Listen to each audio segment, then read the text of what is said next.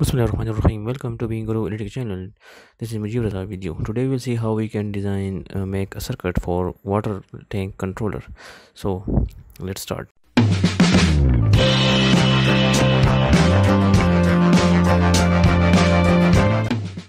So let's say if in your house or in your apartment uh, you have two tanks.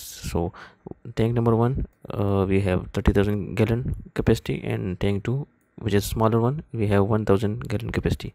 So what happen uh, if you have one pump and one pump like this is we have one pump here and this is supplying water to this tank and also it is supplying water to this tank.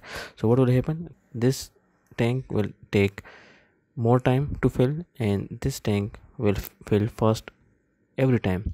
So it will overflow and the water will be wasted. So what we will do we will put one uh, valve here electronic valve. So when this tank is full so we will stop the supply of water to this tank and the water will keep going to this tank too. So let's start. So we will need uh, one SOV this is a solenoid valve electronic operated. It comes in two types normally open and normally close just like electronic uh, normally open normally close contacts. But this is mechanical NONC like if normally open what is normally open in the mechanical context? Like if you supply water from one side and it is normally open so it will give you water supply on the other side. But if it's normally closed so if you give water from this side it will not give water on the other side unless you apply the power source to this uh, solenoid so this is uh, NONC in the SOV context then secondly we need the float switch. So this is float switch.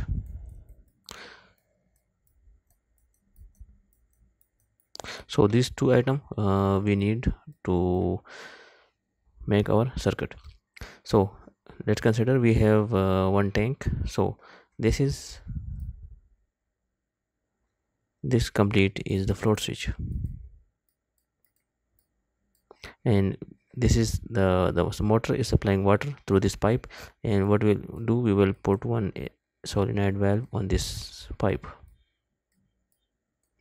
Like this. So what will happen? When this level uh, float switch reach from this point to this point so it will turn off the supply from here. So the water will not be uh, overflow in this case so let's see what circuit we need for this. So we have the float switch. So we will give 220 volt. This is 220 volt phase. So we will give the phase to the float switch to this one this point. And from the float switch we have three uh, wires coming. One is normally open one is normally closed and one is common. So we will take the normally open and the common.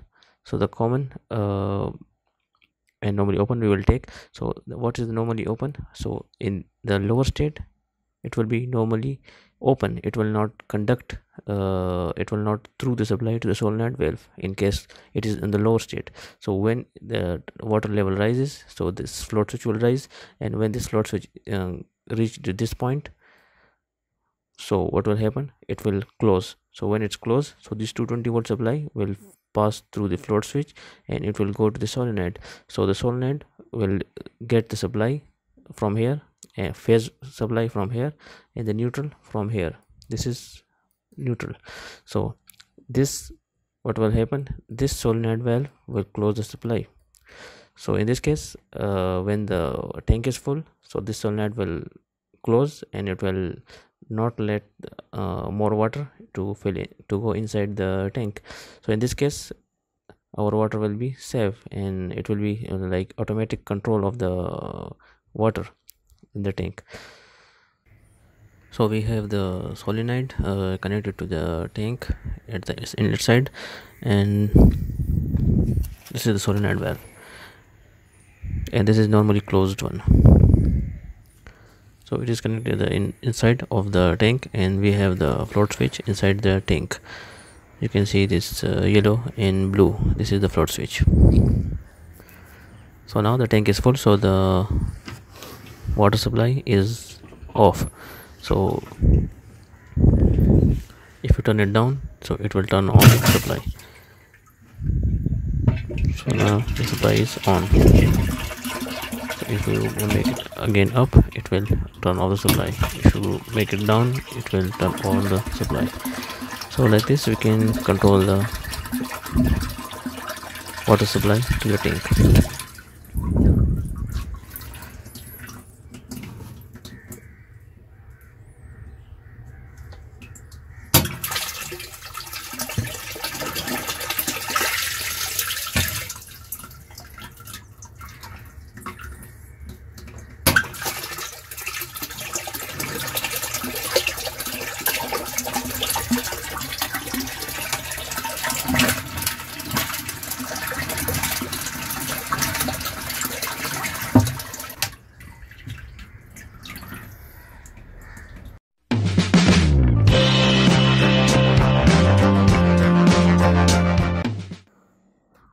so this is about uh, water level control.